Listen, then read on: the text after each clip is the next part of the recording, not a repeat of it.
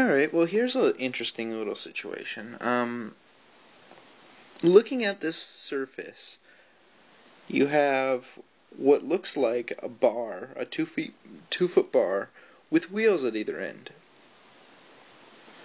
And if there's no acceleration, no nothing, but the bar's just sitting there, which wheel actually supports more weight? And trust me, this is a little counterintuitive, so I'm just going to kind of work with you on it. Um, first of all,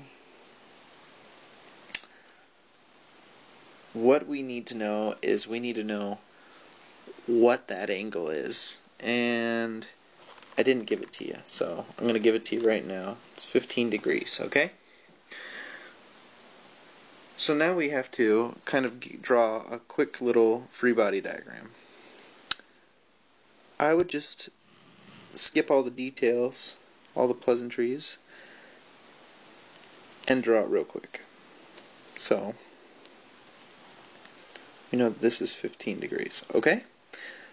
Well, then what we need to realize is that the force that's going to act on each wheel is going to be actually perpendicular to this surface. And this surface is at a, a 30 degree angle. So just imagine you have your 30 degree angle, so it must be something out in this direction, right?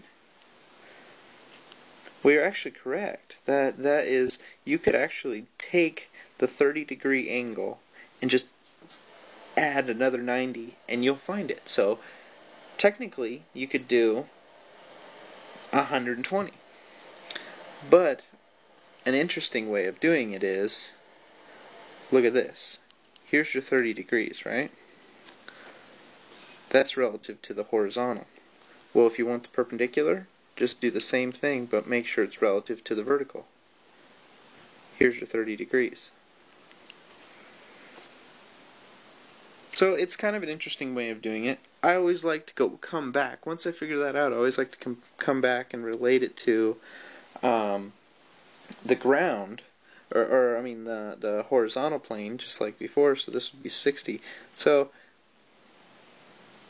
it's just a, it's a matter of preference, but the key point is that we have the vectors that are going to go out at essentially 60 degrees in each in opposite directions. Right? Good. So now you're sitting there going, okay, well, my force is going to be, it's going to have to balance out this 10 pound weight, right? 10 pound bar, which is happening in the middle, but how far away is it happening? Well, this distance is going to be 2 feet, 2 feet times cosine of 15 but then half of the bar so divided by 2 so that's what this distance is going to be.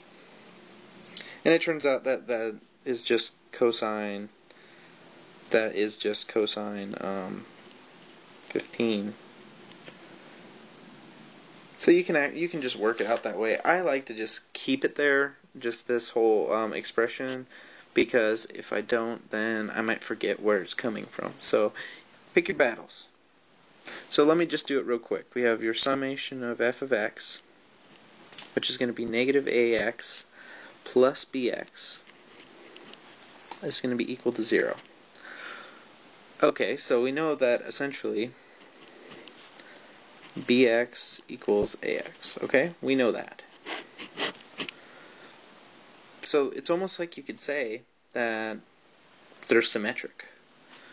But anyway, let's, uh, if you couldn't see that, don't worry, you just continue on to the next one. Summation of forces in the y direction. You'd have AY plus BY minus 10 equals 0.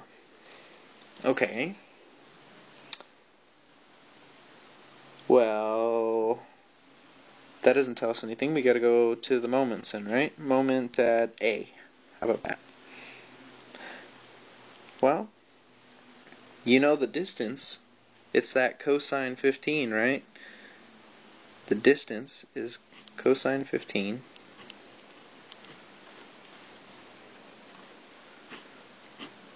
times negative 10 plus and then you have to go all the way to the end.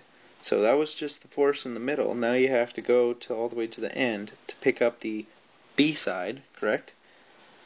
So that's just going to be 2 times cosine of 15.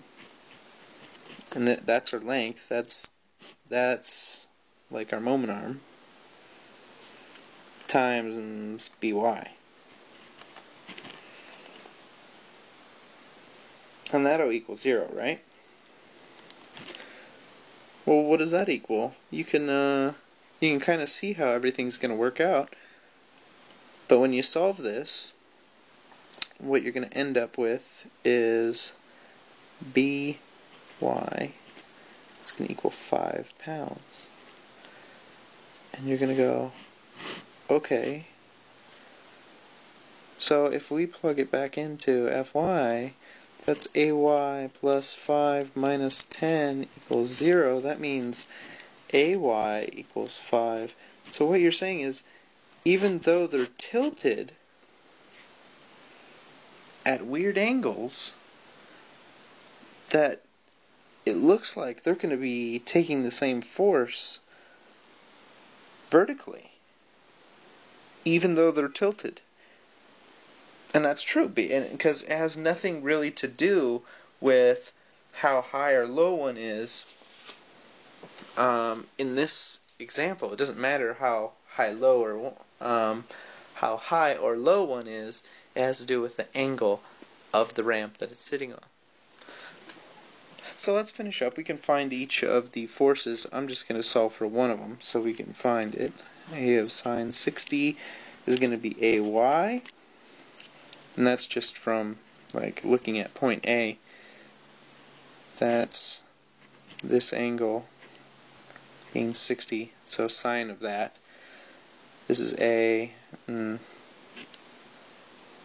AX this is AY so. Just realize that sine is AY and we have essentially we'll have 5 divided by sine 60 which will equal A. And that'll equal 5.77 pounds. And I'm here to tell you that B is actually going to be the same thing. So it has to do with these forces being essentially opposite. One's going this way, one's going this way, but even though they're at different heights, they are the prime ones that are counteracting each other. So thus they must be equal since they're symmetric. And it's kind of an interesting little concept, but um, later on you'll actually find that you can get situations um, with varying loads because of these angles. But right now we're looking at this bar as a rigid body and that's the only way I want you to look at it. So let's continue on.